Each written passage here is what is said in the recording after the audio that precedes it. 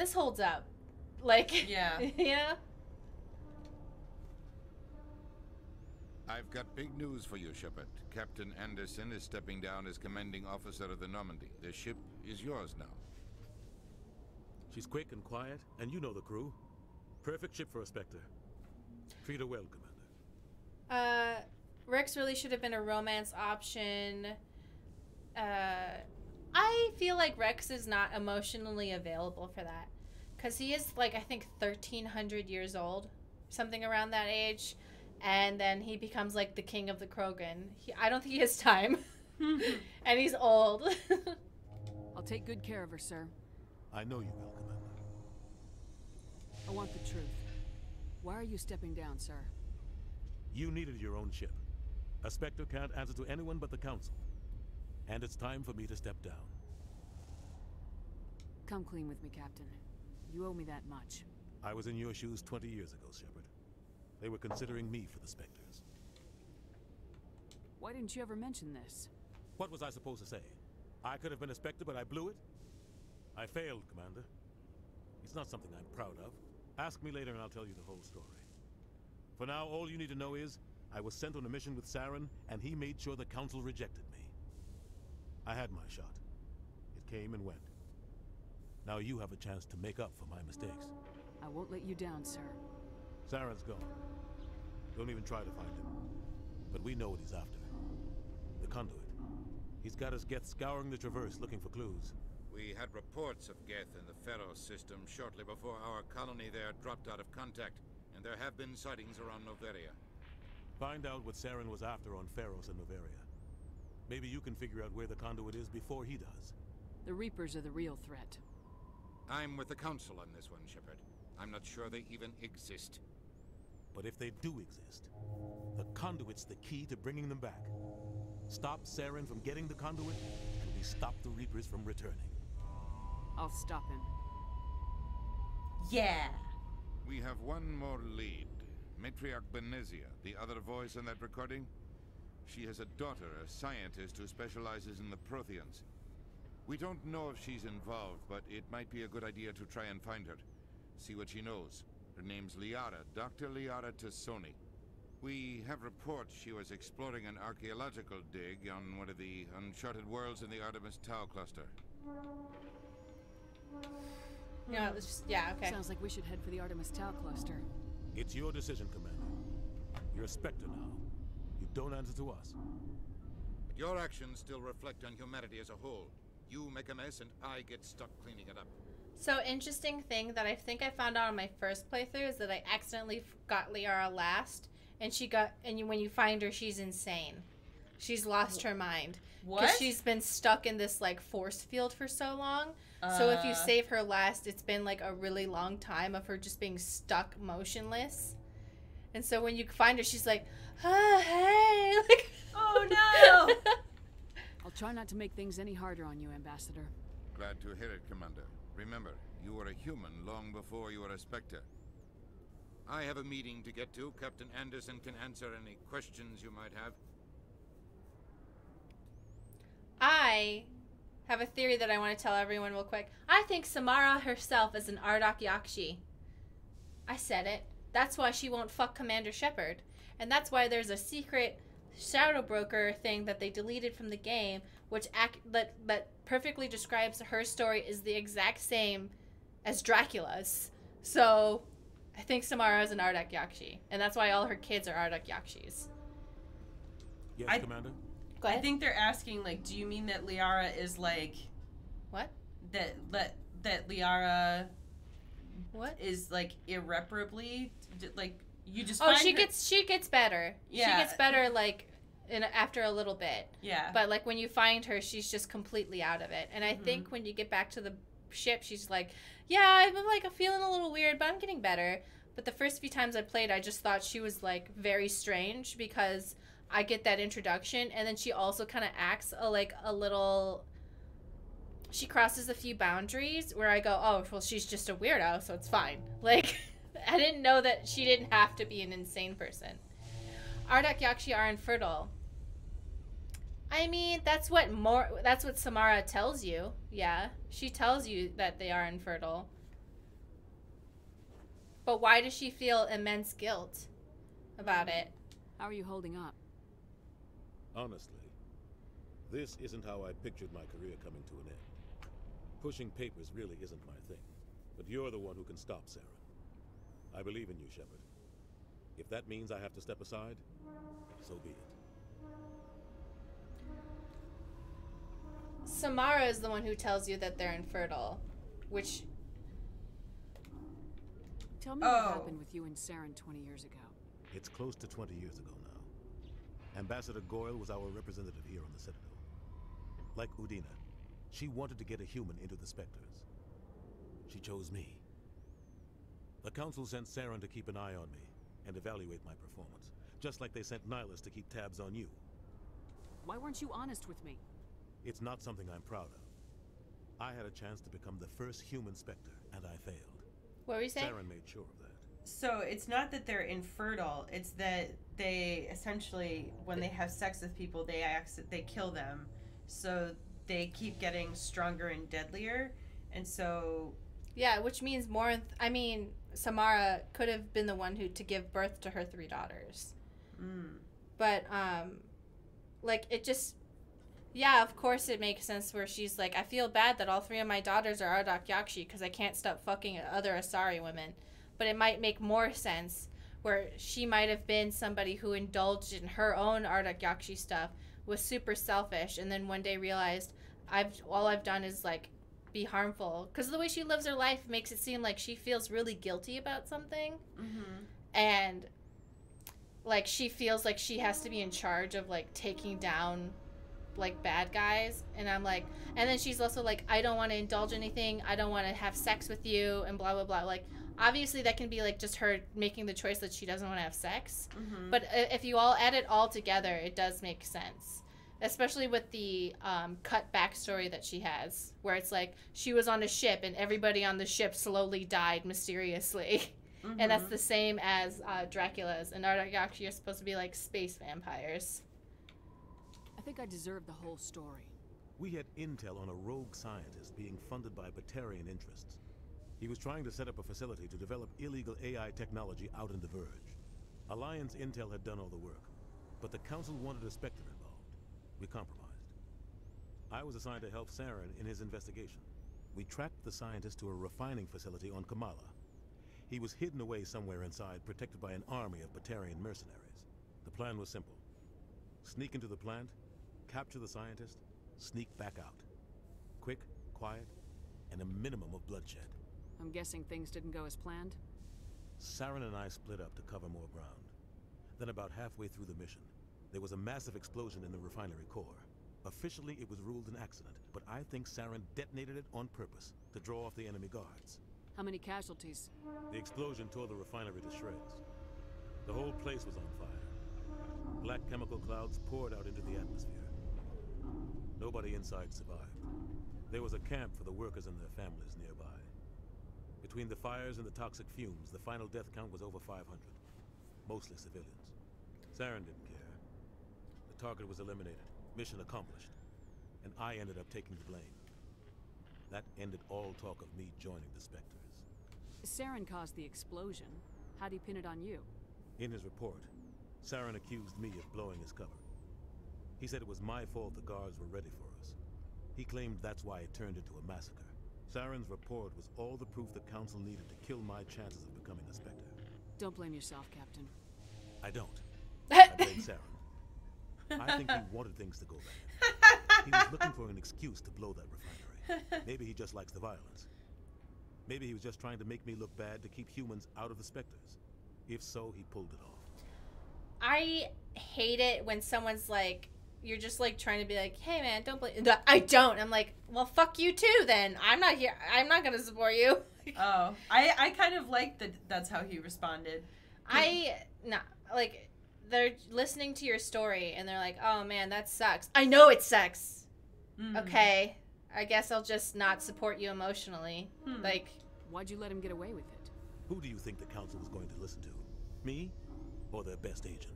I had a bad feeling about him right from the start. I should have been more careful. Maybe I could have stopped things before they got out of hand. Don't blame yourself, Captain. Gonna get mad. I don't. I blame Saren. Maybe he just All likes right, the all right. The only thing I care about is I'm Very done. Well, I should go. I'll be here if you need anything. I, I think I accidentally yes, skipped. Commander? Are you okay? How are you holding up? Honestly, this isn't how I pictured my career coming to an end. Pushing papers really isn't my thing. But you're the one who can stop Saren. I believe in you, Shepard. If that means I have to step aside, so be it. Don't worry, man. There's gonna be a horrible, life-shattering war in a little bit. You won't die. Uh, I'll be here if you need me. pushing papers. Um, so according to the Mass Effect wiki, R.Yakshi are sterile. I But mean, that- yeah, it but it's more fun if uh, Samara's Stand a by, thingy. shore party. Decontamination in progress. Heard what happened to Captain Anderson. Survives a hundred battles and then gets taken down by backroom politics. Just watch your back, Commander. Things go bad on this mission, you're next on their chopping block. Captain Anderson should be the one in charge. It's like I'm stealing the ship from him. Yeah, the captain got screwed. But it's not like you could have stopped it. Nobody's blaming you. Everyone on this ship's behind you, Commander. 100%. Intercom's open. If you got anything you want to say to the crew, now's the time. This is Commander Shepard speaking. We have our orders. Find Saren before he finds the conduit. I won't lie to you, crew. This mission isn't going to be easy. For too long, our species has stood apart from the others. Now it's time for us to step up and do our part for the rest of the galaxy. Time to show them what humans are made of. Our enemy knows we're coming. When we go into the Traverse, Saren's followers will be waiting for us. Cool. But we'll be ready for them, too. This is cool. Humanity needs to do this. Not just for our own sake, but for the sake of every other species in Citadel space. Saren must be stopped, and I promise you all, we will stop him. Well said, Commander. Captain will be proud. The captain gave up everything so I could have this chance. We can't fail. Yes, ma'am. Yeah, I'd be stressed about that too. So I was just realizing that I've seen so little of Ashley in the Mass Effect games because she's always the one that you killed. That I don't actually recognize her most of the time when I see her out of her armor. Because when they just showed her just now, I was like, who is that? Some like random crew member. Yeah, well, And then when people were saying like, oh, like how Ashley looks in like Mass Effect 2 or 3 or whatever, and I was like, I'd never seen that. No, you did. I did? I think you did. I think you saw it in my playthrough because I remember sh- we see her beat up, and we were both talking about how we're both internally sexist for being uncomfortable. Like we had this conversation where it's like, I feel weird seeing Ashley beat up, and not, but like I don't feel weird when I see Kaidan beat up. I don't think it was during the Let's Play, but like she was beat up and she had bruises all over her face, and we both were like. I feel weird seeing her. I feel more we- weird seeing her beat up than I do with Kaidan, and we were just like having a discussion about that. Hmm. It wasn't on camera. It was just like Yeah. when we were playing together.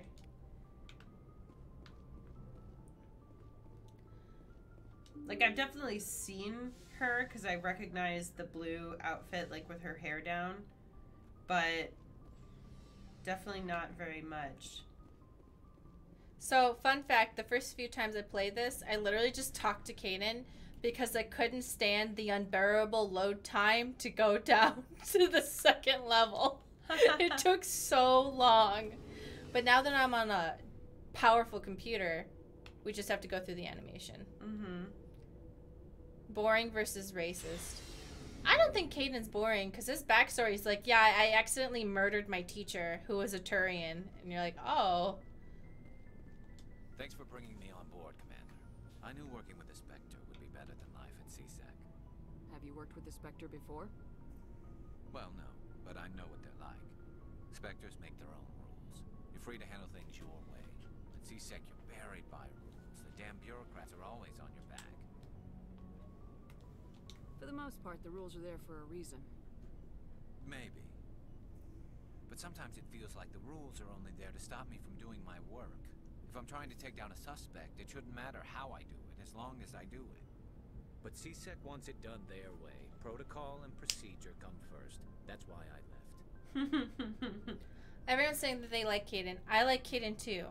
I I know that like video game characters that are like, ooh, like I'm hard to get and like I have so many like things I'm gonna lash out are like really interesting. I really would like it if BioWare would give me a romance option who isn't like a pile of garbage going through a lot. Because I feel like a lot of the female romance options, they're all like, I have my shit together. I have a dark backstory. Not all of them. I have a dark backstory, but I'm I have it pretty together. Like Cassandra, Miranda, mm-hmm. Tali, she has it together. You know, they all like know that they want to be with you, basically, except for Jack. And I feel like a lot of the male ones are like, I'm just like so messed up, like, or I'm like really weird and I'm gonna come into your bedroom and have weird sex with you, or just like, I have a lot of trauma, and it's like I'm I gonna like dump, that. I'm gonna dump you by post-it note. Yes, that's what I'm talking about. Like Blackwall, I'm gonna Yeah. touch your butt and then break up with you. I'm gonna drub, dr- break I'm up gonna with you. remove your tattoos and then break up with you. Yeah, and it's like, or like Cullen's like, I have a serious addiction. It's like, yeah, okay, I I see that, I validate that. All of those I have sincerely enjoyed. I just would like it if there's some more options where the man, where the male romance options are a little bit more like like some of the female ones Give where it's it- like they know they want to be with you they're cool and have their shit together like that's that yeah well and it's like it's it's okay to have baggage. It's also just you know i feel like sometimes um the male male female romance options the male romance options for the female lead are garbage. Trash boys. Gonna say troubled? Yeah trouble. But like that was one of the reasons i really liked Kaidan is because he had this dark backstory where he's like i've had troubles but i mostly have my shit together and i'm like and i know i want to be with you and then in mass effect 3 he's like i know i want to be with you but i literally can't stop drinking and i was like please So you just quit because you didn't like the way they do things. There's more to it than that. It didn't start out bad, but as I rose in ranks, I got saddled with more and more red tape. C-Sec handling of Saren was typical. I just couldn't take it Uh, yeah, Garrus, I think, is probably one of the healthier romance options you can Mhm. have from BioWare games. Because he most, even though he's kind of a trash boy, he has his shit together and he knows he wants to be with you. And he puts the effort in. you know, I feel like this is gonna sound really stupid, but it's like whenever people are like, "Oh, like what's the number one thing that you look for in a partner?" Honestly, before anything else, I just want somebody to be very sure of and clear about their attraction to me. Like, and that means like showing appreciation, showing affection, being able to communicate their emotions and that they actually like me. I am like so over trying to be with people where they can't make that like basic you know what I'm talking about? I get, yeah, I get what Yeah. you're saying. And like no more Blackwalls. No. No more Sol. Well, no. Okay, video games. Yes, Video Blackwall games are and totally Solas. different. Yeah. Like I am still waiting for Solas to come around. But like in real in real life, I just like I absolutely cannot stand people that play you hot and cold. I I, can't. it's too much for me emotionally. I get bored. I get frustrated and bored because I'm like, oh, cool. I never know if you actually like me or not, or if you're just whatever. And if you they probably don't know. yeah, and they probably don't know. And like, okay, cool, but I also that's a waste of my time. I know what I want. Yeah, Do you know what you want? yeah. Um, or even worse, when they like make fake promises. Cause Oh yeah. the last person I was with, they were like, I was like, oh my god, like this pandemic's going on forever. I really miss you. Like, Oh, if it was for a long time, we would move in together. I was like, really? Like you mean that? Mm, Did not mean that. yeah. They were just like kept saying things to me, and being like, yeah, for sure, like, well, just to like keep me around. Yeah, giving you like just enough to kind of like. Yeah, because it's like during the pandemic, because I was like, well, we're under special circumstances. Oh my god, wait. This is a side point, but I have a funny story that's kind of similar. I had one person that I was dating. This was a couple years ago, but um, they kept saying like, "Hey, like I have something like that I want to tell you, but I'm like nervous to say it because it's like you know hard for me to say." Oh my god, were they setting you up for manipulation? No, no, no. I fully thought that this was going to be like I don't think they were doing this on purpose, but they I fully thought that they were talking about some sort of like emotional declaration that they were going to be like, you know, I love you or like I you know, I just have really strong feelings for you, something like that, and that they were just having a hard time talking about it. I would think they were like want to tell me some trauma or something. No, because so- they were being clear that it was about me, Oh, that it had something to do with me. Okay, so fast forward, I finally get them to open up about it. Do you know what it was that they wanted to tell me? What? They wanted to ask if I would have a threesome with them and their friend. They were being all cagey about it, making it seem like it was this like emotional thing that they were like No, no, they were setting it up so you'd be like, "Oh, of course, like, like, thank you for opening up to me. I'll give you like." No, they were being a fucking like playing. I was like. I was like I was like okay, you could have literally just come out and asked me that. That's not really like I don't no, no. Sometimes, Boo, that sucks. Yeah. no, sometimes men will like take on the like I'm so shy role to make you to get you to do what they want you to do, but make it seem like it's your idea. Which is so bullshit because they could have honestly just told me that like right from the get go. No, where they go like, oh, agreed. like there's something I want you to do, and then like you have to keep guessing until you get it right, and they're like, oh, I can't believe you feel that way too, and you're like, no, I was just like trying to guess what you wanted. I was I was so mad and like just on principle. Then I was like, no. Terrace Cussy wants to know how to even ask for a threesome. You ask for a threesome. Yeah, you can literally just just say like, hey, is this something you'd be interested in doing? Yeah, be like, hey, I understand that there's like things like it makes things complicated. So if you don't want to do it, 100% fine. But I would love to try it, but there's no pressure, and that's it. And you have to be okay with a very high chance of them saying no. Yeah. So and just being okay with it. hmm Anyway. I hope you made the right choice. I'd hate for you to regret it later. Well, that's sort of why I teamed up with you. It's a chance for me to get off the Citadel, see how things are done outside C-Sec. Either way, I plan to make the most of this. And without C-Sec headquarters looking over my shoulder, well, maybe I can get the job done my way for a change. I have an idea for a heterosexual romance option for any romance game, actually. mm.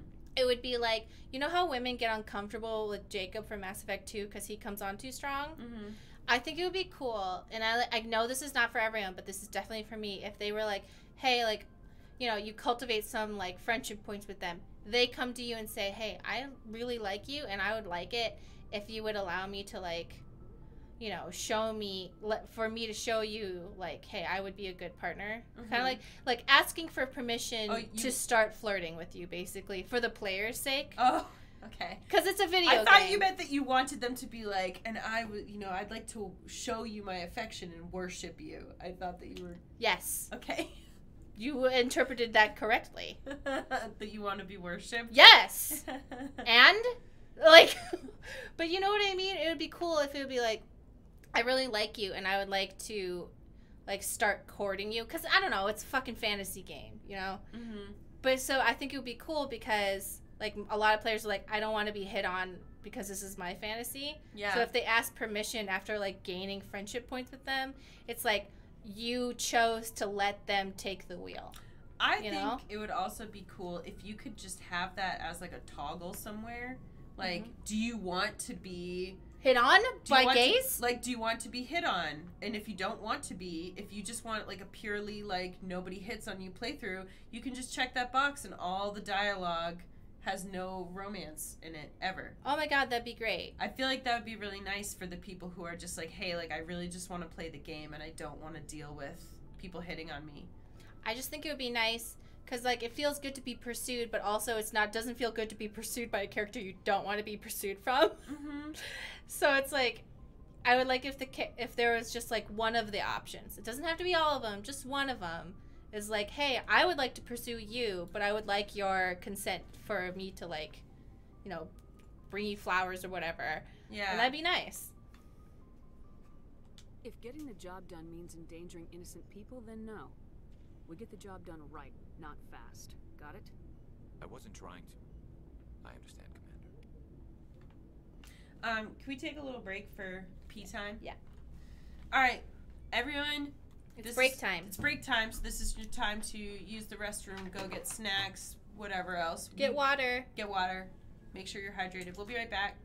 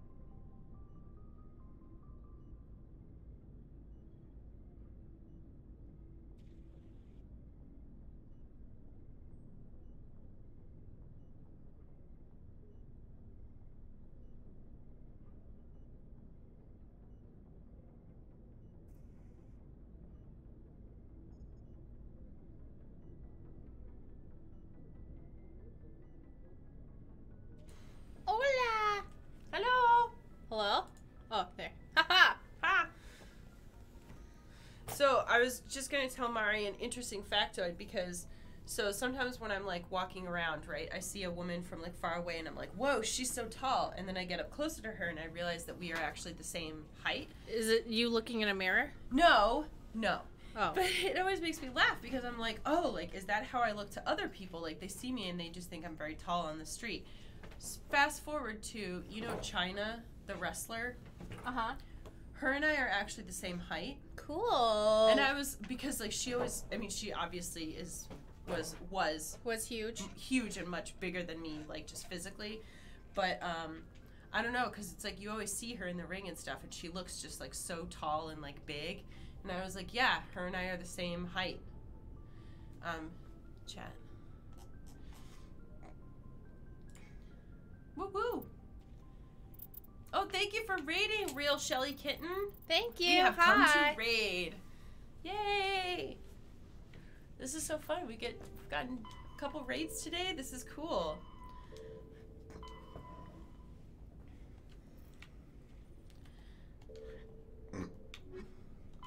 The, the Asari were the first species to discover the Citadel.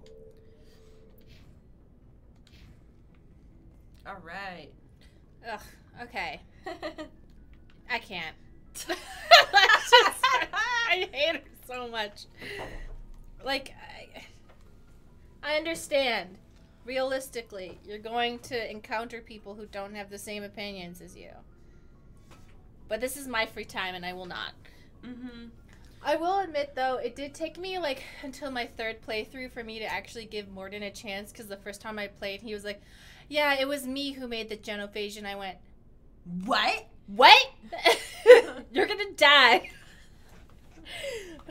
Just, it was me who you, who basically committed a near genocide of all Krogan.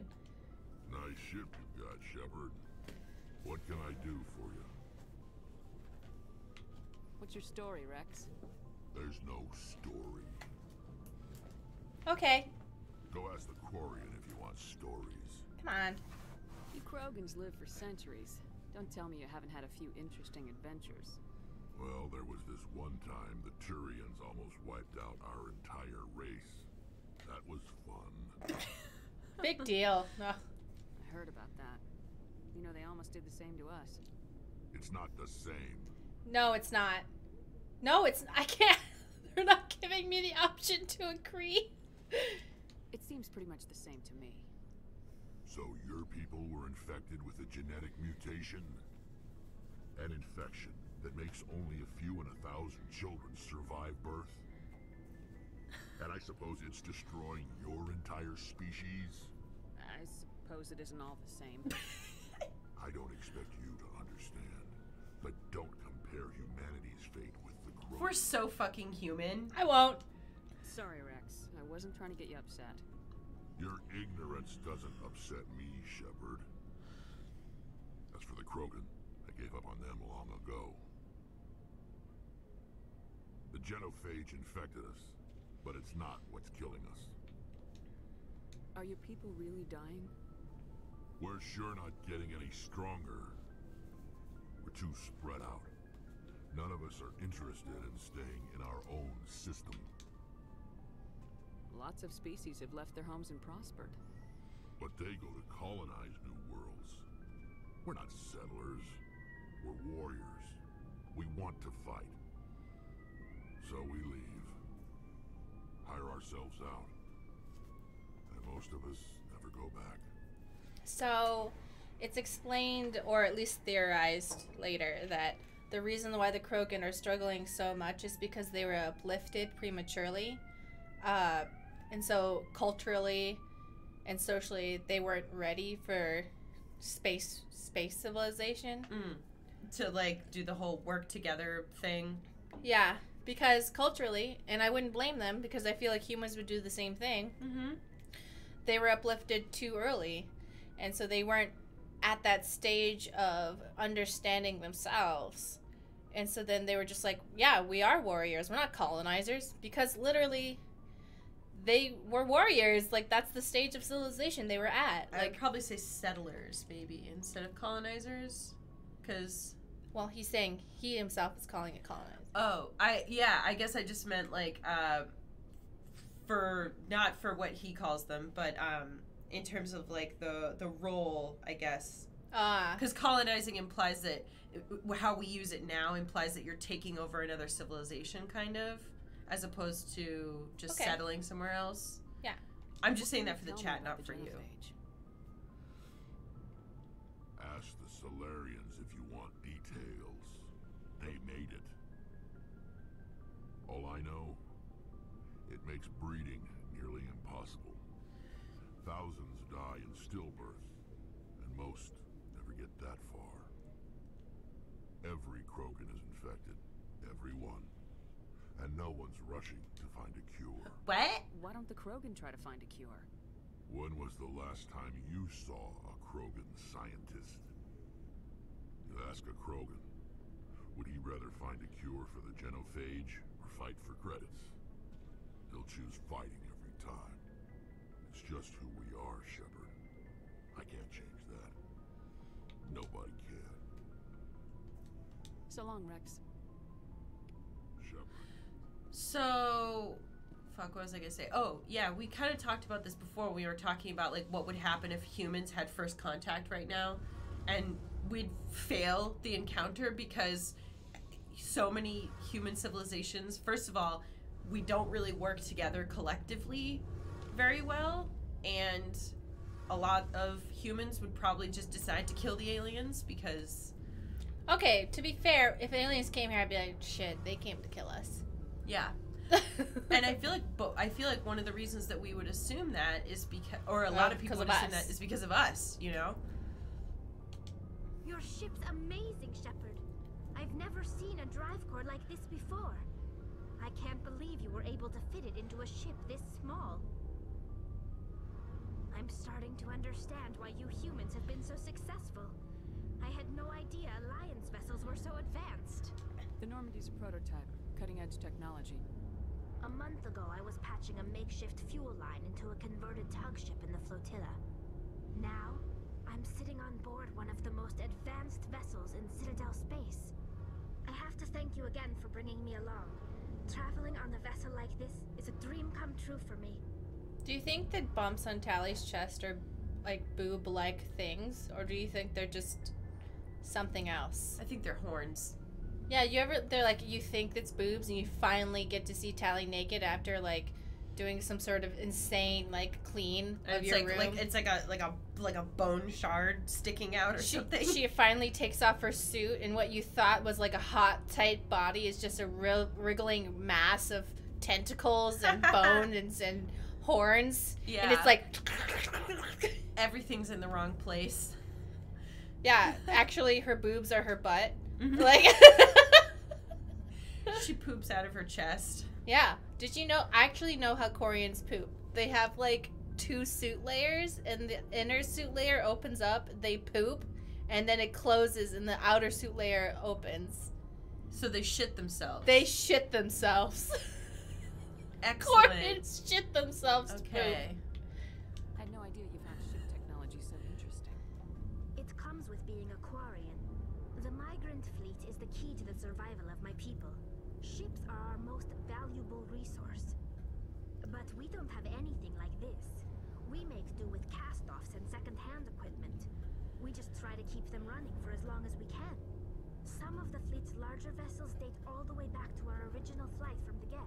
It's like a Okay, diaper, but hold but on, worse. hold on, hold on.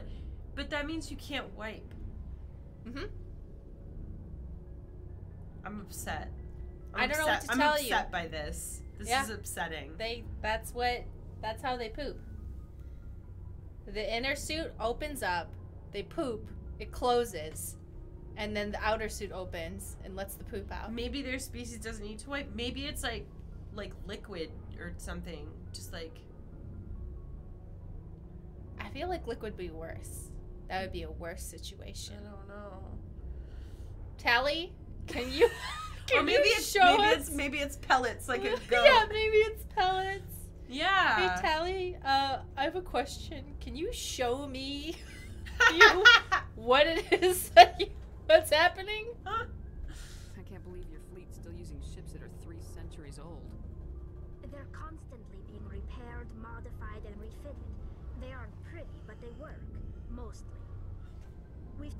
make ourselves as independent as possible on the flotilla. Grow our own food, mine, and process our own fuel. But some things we just can't make on our own. A patch to maintain the hull integrity requires raw materials we just don't have. That's why our pilgrimages are so important. Tell me about your people. Our lives aren't easy. Resources are scarce, and we are constantly on the move. Everything we do must in some way contribute to the continuation of the migrant fleet. There are 17 million Quarians in the flotilla, Wow. and each of us relies on the others for survival. The bonds among my people are strong. Unfortunately, we have had to surrender many of the freedoms and civil liberties other species take for granted. What kind of freedoms? Well, it's illegal for parents to have more than one child. If our population grows too much, it would strain our resources to their breaking point. Of course, we also can't allow our numbers to become too few. If our population is in decline, the rule against single births is temporarily repealed. In extreme cases of population decline, incentives are even offered to encourage multiple births.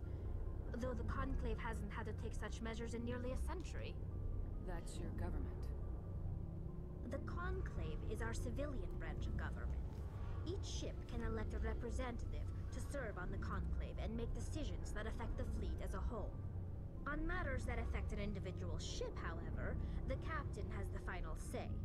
It's a tradition that dates back to the early days, when the fleet was governed by martial law.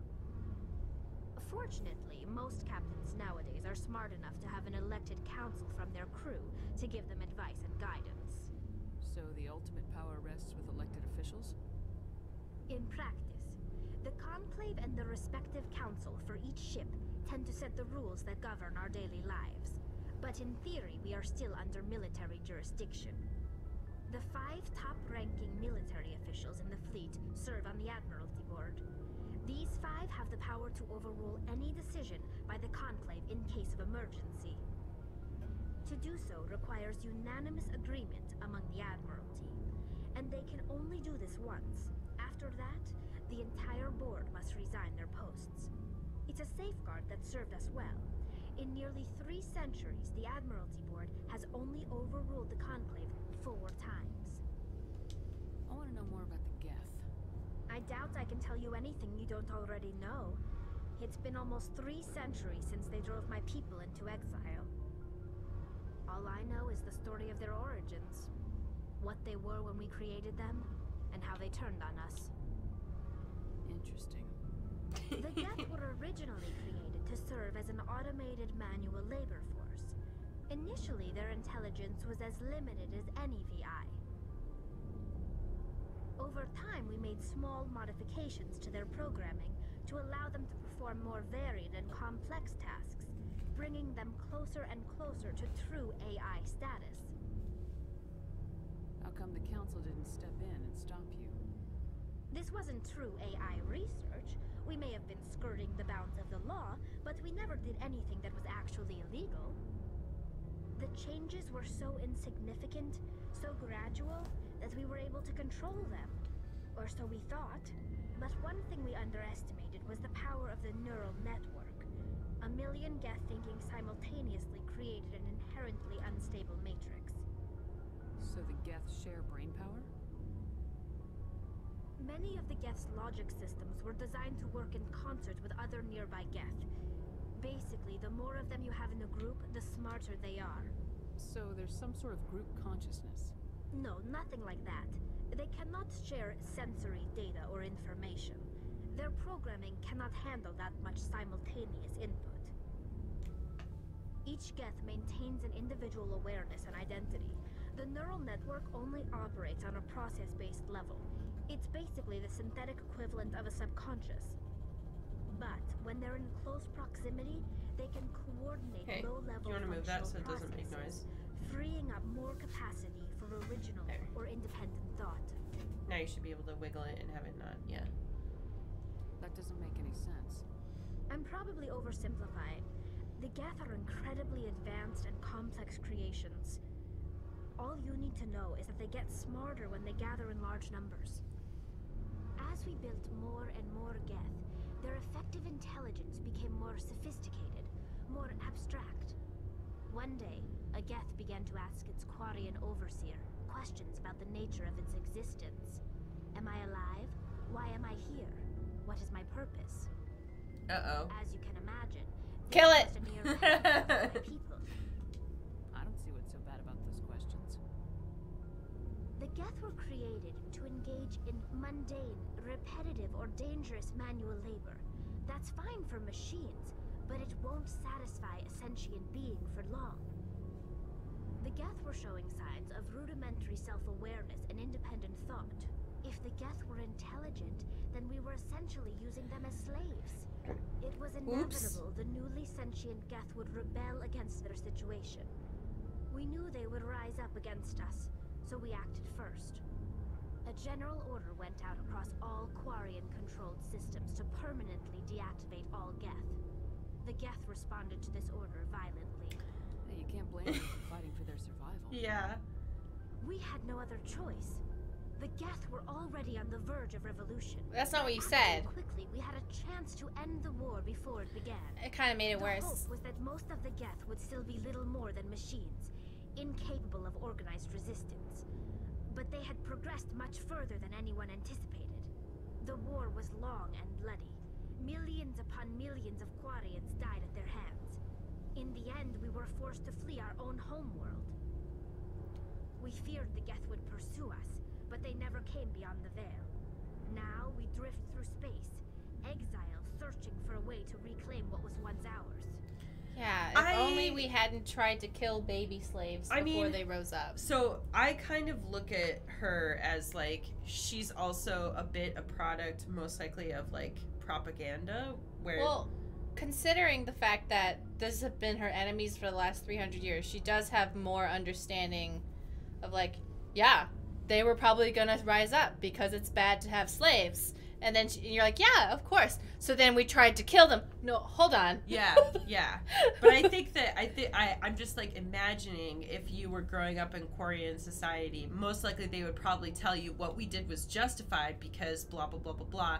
Like it's kind of like how even in the United States, our the way we're taught history uh, glosses over a lot of important things because I don't have the experience of knowing what they teach you in public school, but so like, what is it that they teach you in public school?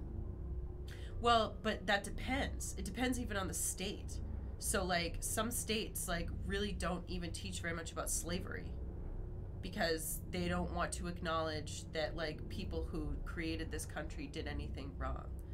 Like a lot of people don't know that like the founders people who founded this country like owned slaves. They don't. Yeah, like whenever you s- like there's there's been a lot of discussion about like and and you know and that that's not just on that topic either. There's also things like evolution that some schools are forbidden from teaching evolution whatsoever. You know, stuff like that cuz it's like there's no yeah, as em- emissary says, there's no standard plan for all US public schools. So it's basically like if the parents in a certain community decide that they don't want to teach about whatever, I know about this. Yeah. It just upsets me that it's the truth. Yeah, and I would assume that there's also plenty of people who don't know about like internment camps in World War II and things like that. Because a lot of what you're taught in public school, and this is like, you know, things, yeah, I, it's just, it's very bad. It's hard to feel sorry for you. Your ancestors tried to wipe out another species.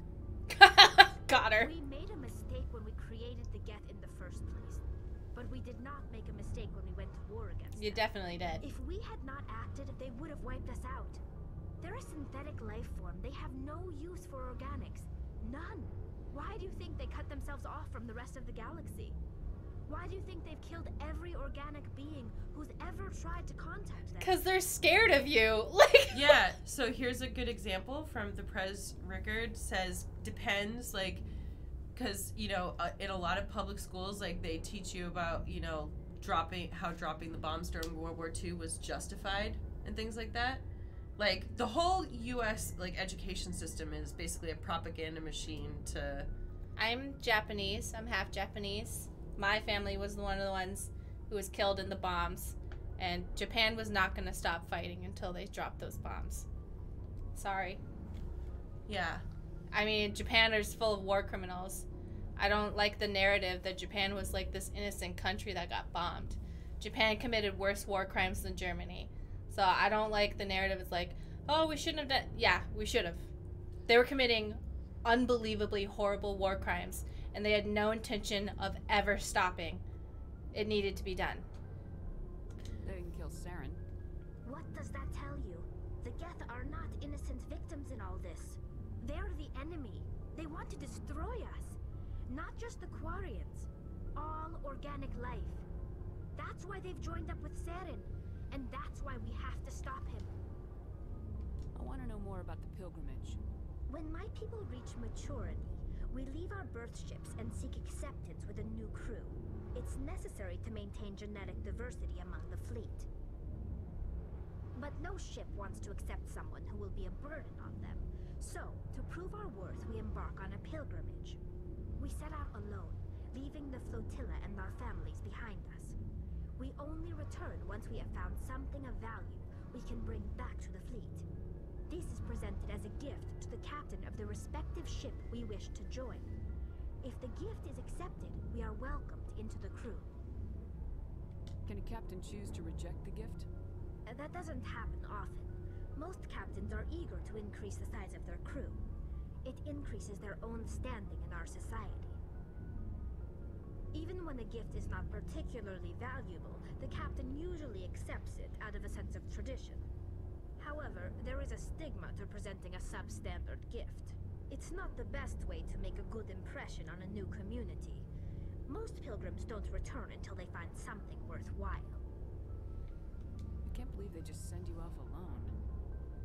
It's not like they just cast us out. Before we leave, we are given lessons in how to survive outside the flotilla, and given gifts to help us on our journey. We also receive implants to fight off sickness and disease. Generations of living in an isolated and highly controlled environment have left our immune systems weaker than most. By the time we leave the fleet, we are well equipped for the pilgrimage. This is a rite of passage for all Quarians. If it were dangerous, our numbers would suffer. Virtually every pilgrimage ends with a triumphant return and the ritual presentation of the gift to one of the fleet's captains. I want to talk about something else. Like what? Uh, goodbye. I should go.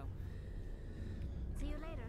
Yeah, I think that what what people are kind of bringing up with that point though is that like when it when stuff like that is taught in U.S. schools, most of those topics are not taught with any nuance. Like, Oh yeah, I just didn't want to actually. Uh, on that topic, I feel very strongly about it.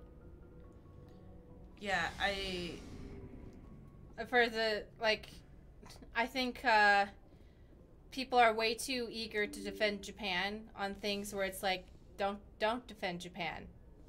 For that, that there's a reason. yeah I like for that has nothing to do with like the rest of the conversation everything else is valid and it's valid to take up being like not questioning the bombs at all like yeah you should question them yeah for I sure think but that- like my opinion is like yeah, that. I think that that's the problem. That is most the way it is taught is mostly just like the U.S. always did the right thing and we were always the good guys and like believing in U.S. history is like freedom and patriotism and whatever. And uh, don't think too hard about all the horrible things that happened. You know, like there's a way to teach about things and. I have a very different schooling experience than that. I'm surprised you remember. I don't actually remember what we were taught in school. I'm I'm coming to this conversation from what I hear from other people. I don't remember what I learned in fourth grade history. That's like I remember because they were like, "Look, look at the war crimes. Do you see this dead body?" And I'd be like, like yeah.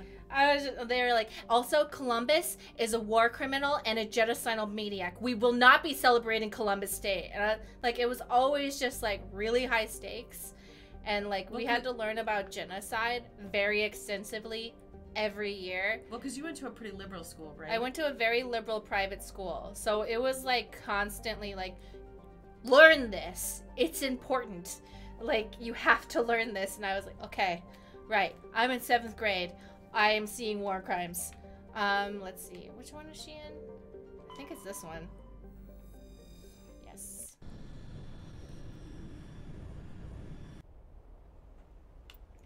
Um, let's see. Not Ashley, 100%. Let's bring Tali and Garrus or Wrex. Wrex.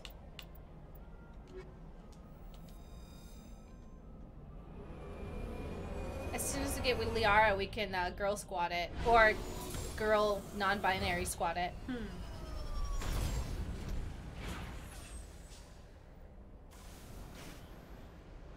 Commander, I'm picking up some strange readings. Really strange, like off the damn charts. It looks like it's coming from an underground complex a few clicks away from the drop zone. I think this is where Liara's thing is. But yeah, like that's how you end up with people in the US who believe that America like always fights for freedom and like other people don't like us because we represent freedom and you're like, "No, that's not always like that's not accurate." There's people like there's countries and stuff who have legitimate beef with the United States because of how our government has treated them. That doesn't, you know, Yeah, it's hard. yeah, this is Liara's planet. So, woohoo!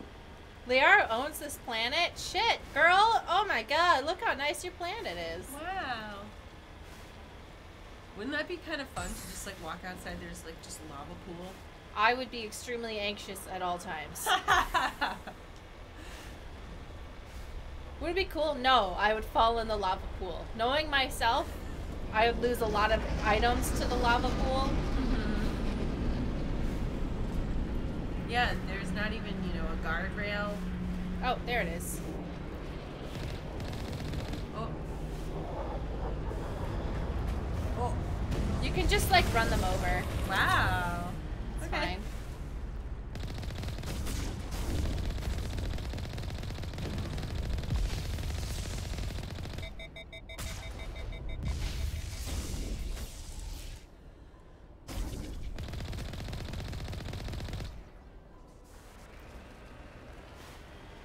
Forgot how to fix the Mako. Can someone tell me? Like what button it is? Hmm. Oh, look at this. If you drive into the lava, you die, right? I think so. I wouldn't recommend it.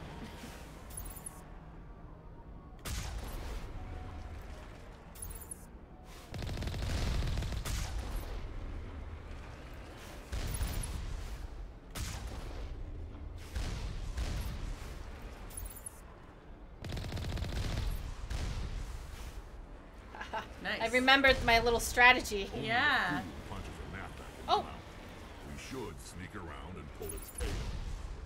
No, Gar, no, Wrex. What I'm gonna do is run in and have no strategy, like I Mhm. always do, like a real gamer. Oh wait, something over here too.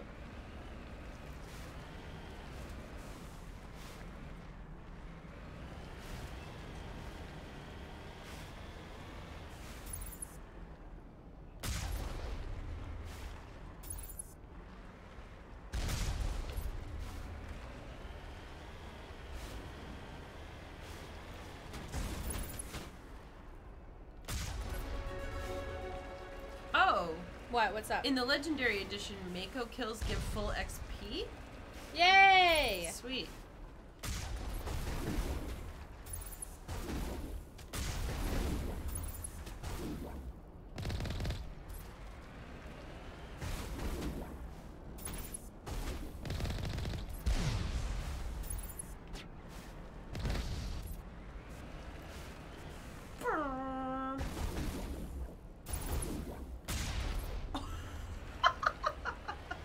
It's great, right?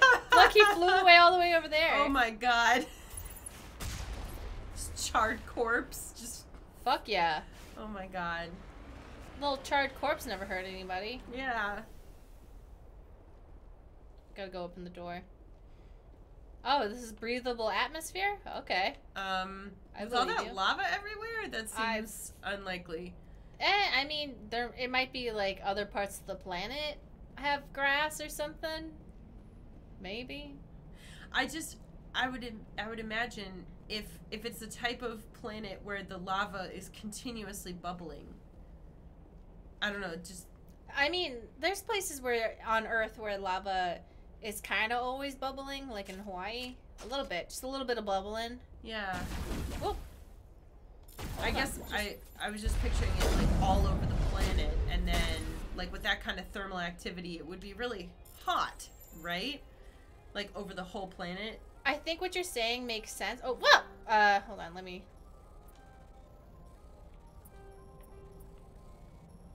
Go. Yeah. I think what you're saying makes sense. Oops. However, most planets in real life are not like just like one singular thing.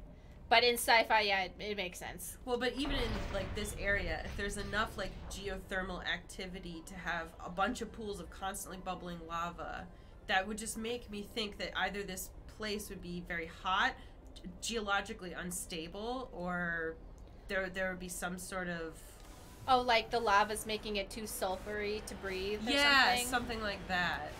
You know? Yeah, that's a good point. Like in a way that would be different if it's just like oh here's like one little volcano that's bubbling like all this everywhere. Yeah, that's too much. Yeah, all the smoke coming up. Yeah, Yeah, you got a right? point here, Stacy. You got a point. Whoop.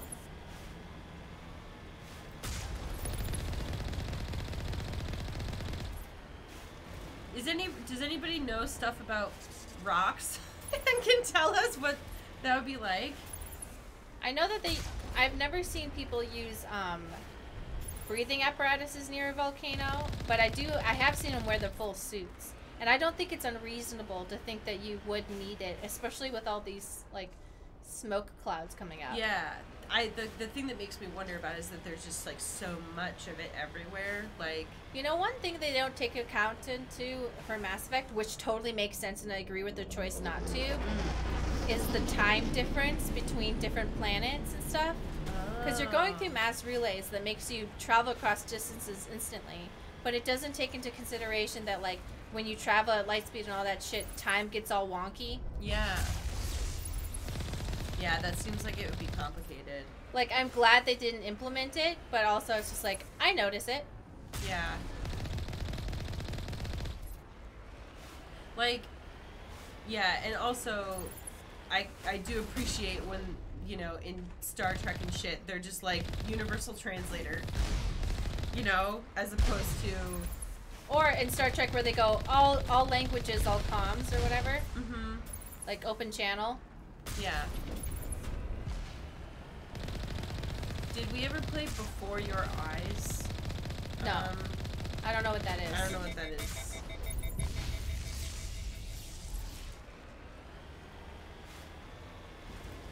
Uh, I don't. This doesn't look familiar to me, so I don't think so. Yeah, this came out earlier this year, so that's. What's it, what is it? Uh, it's a first-person narrative adventure. All right, which- let's do it. Which tells the story of a soul's journey into the afterlife. Fuck yeah, that sounds great. That actually seems a good idea. Um, you control the story and affect its outcome with your real life blinks. What? This innovative technique. Huh. Is it like tracking my eyeballs? I'm. Oh wait, I know what this is. Every time you blink, like time goes forward or something, or something like that. I saw a trailer where I was like, oh, interesting concept. Huh. Where it's like every time you blink, I think it was in the Wholesome Direct. I think. I can't be sure. This Maybe looks like something that would be in Wholesome Direct. Can I see it?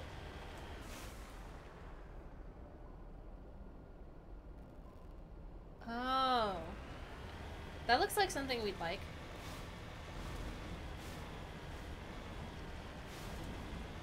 Boyaki says, oh, there was also someone that suggested that game. What was it? Something like Outer Wild?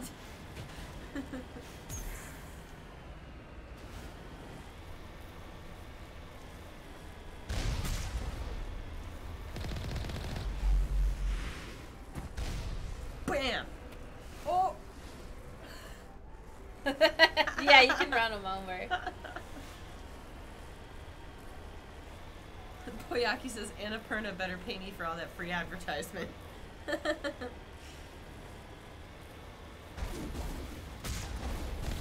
Wow!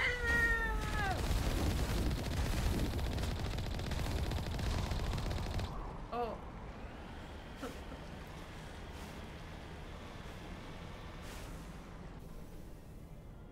How conveniently shaped. The Mhm. Mako can literally climb anything except this. Mm-hmm. Look how fast those saves are. Yeah, that was awesome.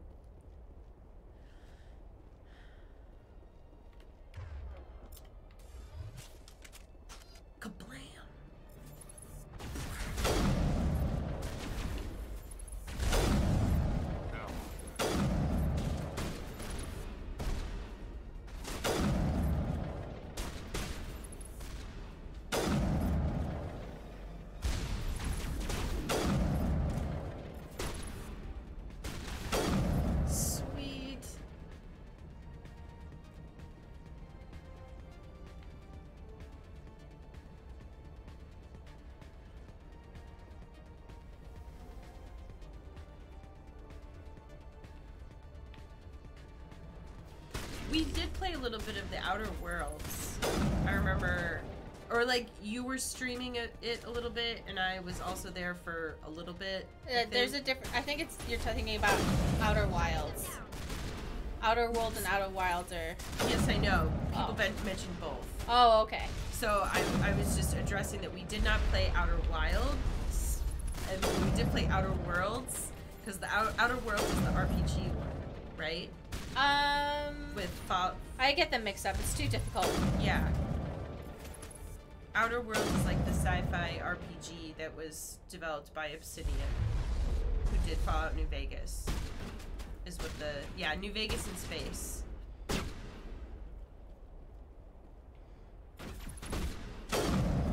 Have you thought about playing Control? Yes, we actually have a full playthrough on the channel that you can check out if you want. We both really liked it. It was a lot of fun. There's lots of really cool lore in that game, and I know we didn't even see it all.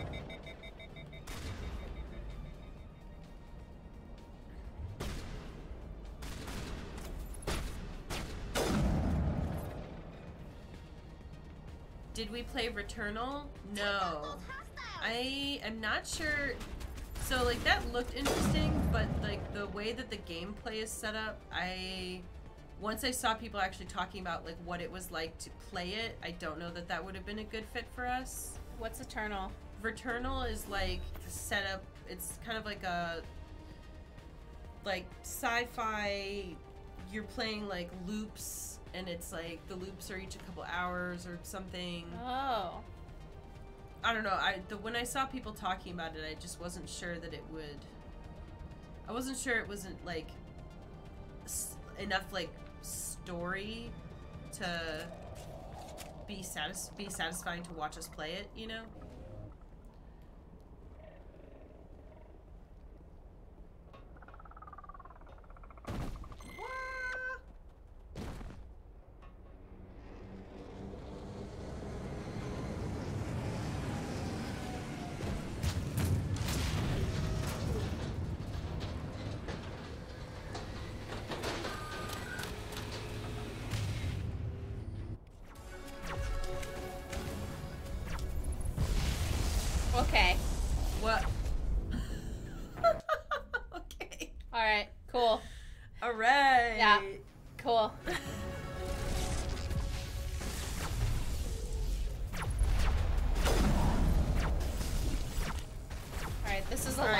A lot going on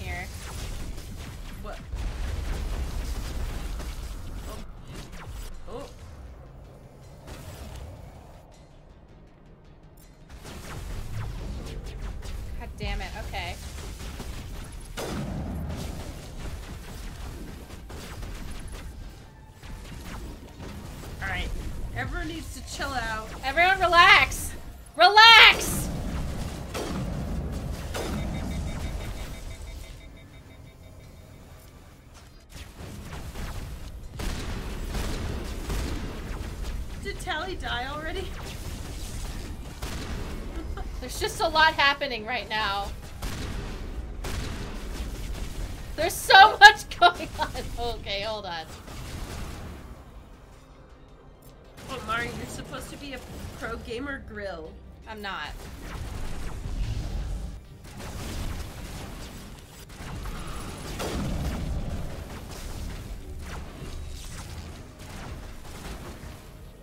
Wrex is fine.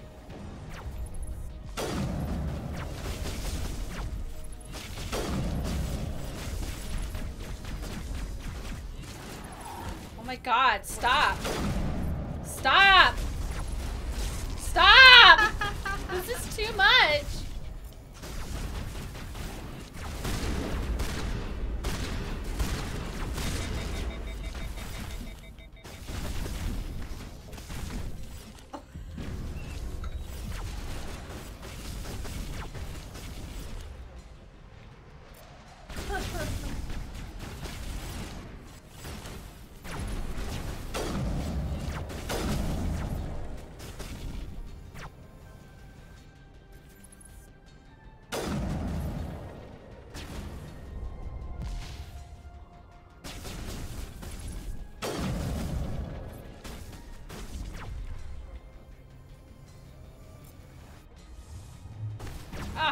Kidding me?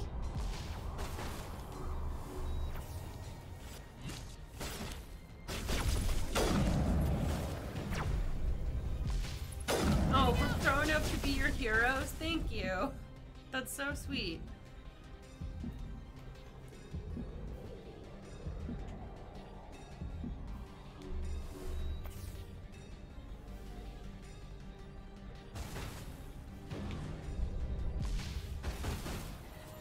Like she kind of like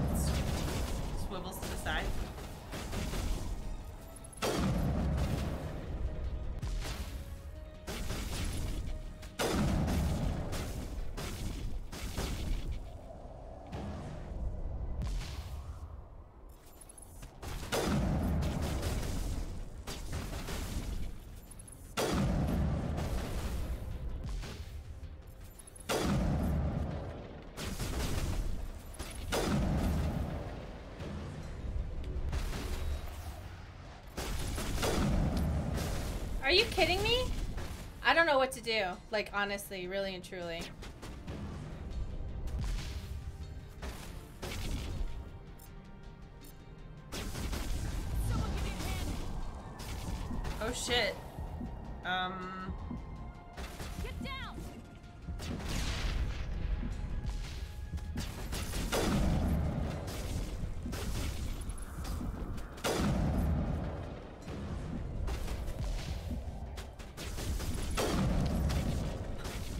God. I. Oh no. If I can't do this, I'm done for the day because I'm really hungry. Yeah, they said use grenades and unity skill. I don't have Or the Unity skill. No.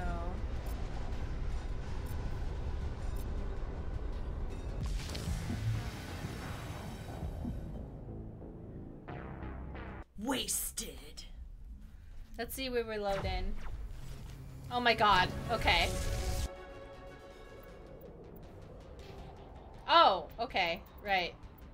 For some reason, that's what it's happening.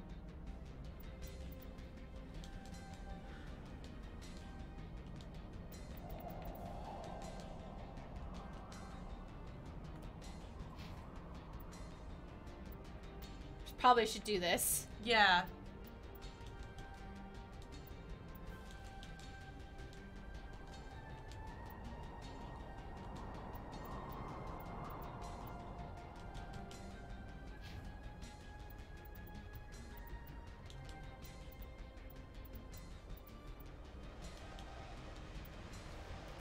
Bisected brioche.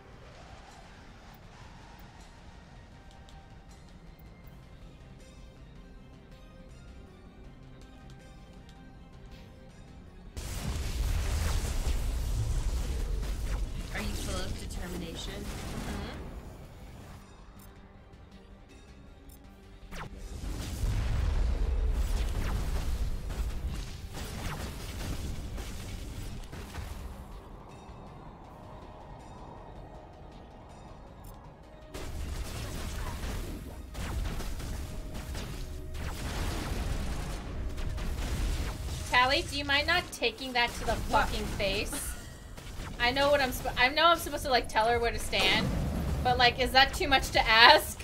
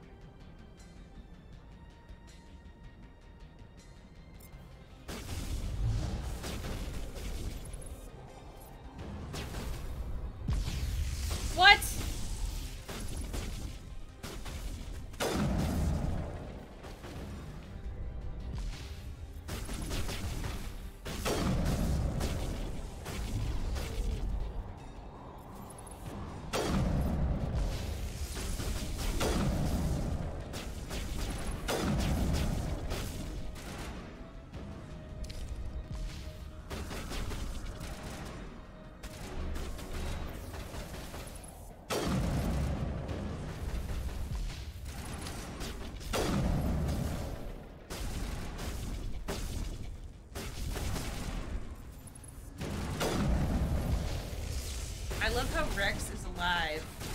Perfectly fine. Tali, I'm gonna stand out here. Tali took like two shots and then died.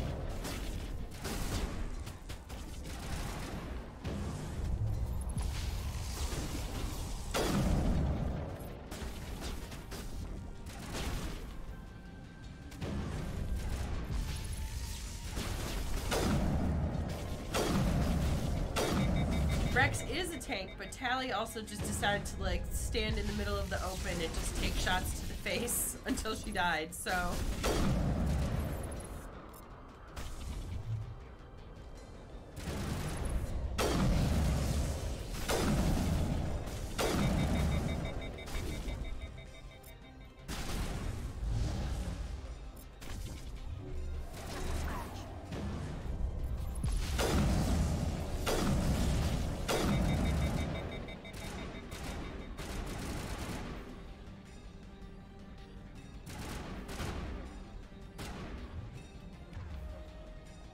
Tali went Jenkins.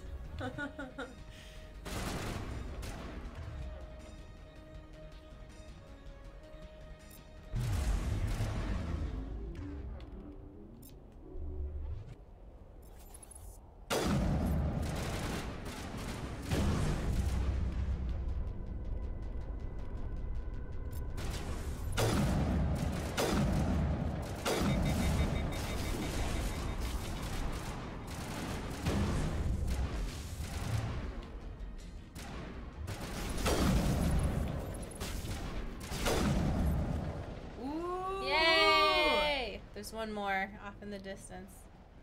Hello? You better not kill me somehow. Hello? Where'd he go?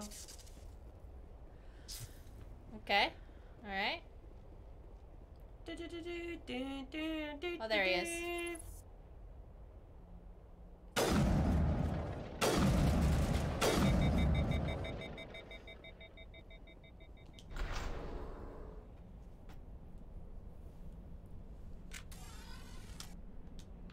People have searched many generations for a world to call home. If we landed here, we'd just keep searching. Okay, Tali. Nothing but rocks,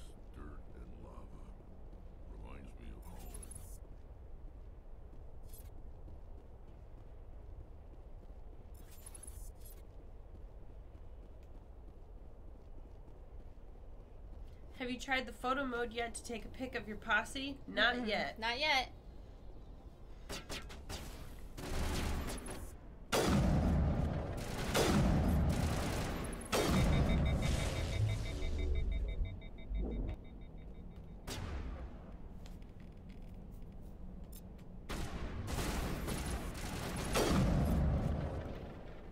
I know I'm not supposed to use a sniper as a vanguard, but I'm having fun.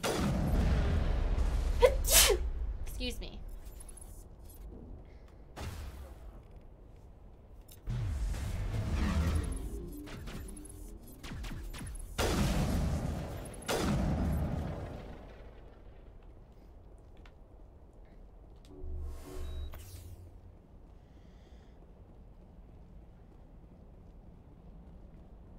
Hello?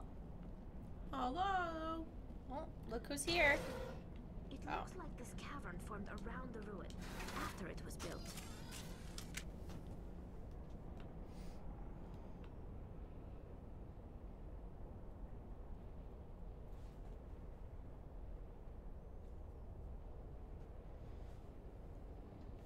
Oh, here it is.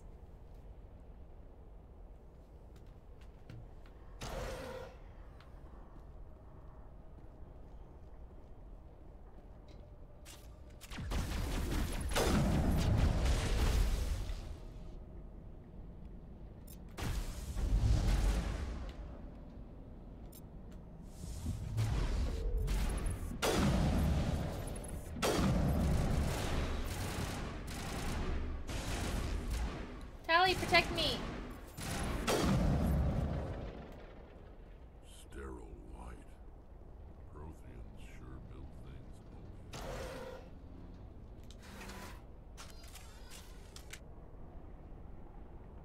Shepard's one of those people who stands facing away from the elevator door.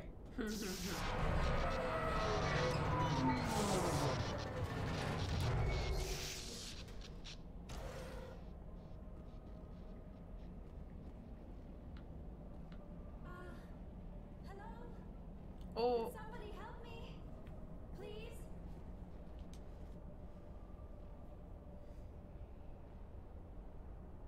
Can you hear me out there? I'm trapped. I need help. Are you okay? What happened to you? Listen, this thing I'm in is a Prothean security device. I cannot move, so I need you to get me out of it, alright? Your mother is working with Saren. Whose side are you on? What? I am not on anybody's side. I may be Benezia's daughter, but I'm nothing like her. I have not spoken to her in years. Please, just get me out of here. Just need to figure some way past this energy field. It's a Prothean barrier curtain. I knew it would keep me safe from the Geth. When I turned it on, I must have hit something I wasn't supposed to. I was trapped in here. You must get me out, please. We'll find some way to help you. There is a control in here that should deactivate this thing. You'll have to find some way past the barrier curtain. That's the tricky part. The defenses cannot be shut off from the outside. I don't know how you'll get in here. Be careful. There is a Krogan with the Geth. They have been trying different ways to get past the barrier.